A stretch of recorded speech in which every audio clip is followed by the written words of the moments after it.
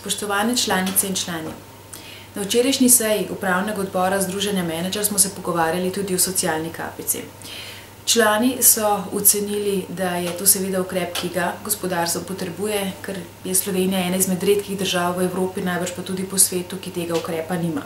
Zaradi tega so um, perspektivni, izobraženi kadri podjetjem teže dosegljivi, kot je to um, primer, ki je druge po svetu.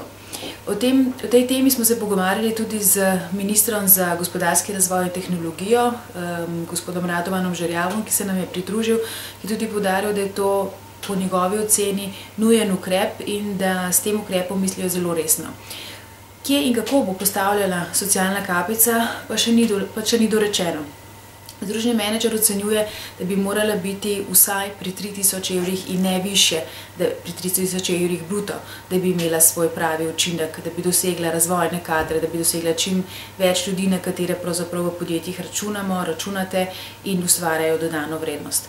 In učinki tega se lahko potem pravzaprav občutijo predvsej in skozi gospodarstvo, skozi potrošnjo, um, skozi večjo dodano vrednost, več inovativnosti. In po drugi strani je pa tudi socialna kapica eden od tistih ukrepov, ki jih je napovedala ta vlada, tudi že prejšnja vlada, o čemer kličemo v gospodarstvu, ampak ravno tako, tako tudi vsi socialni partnerji.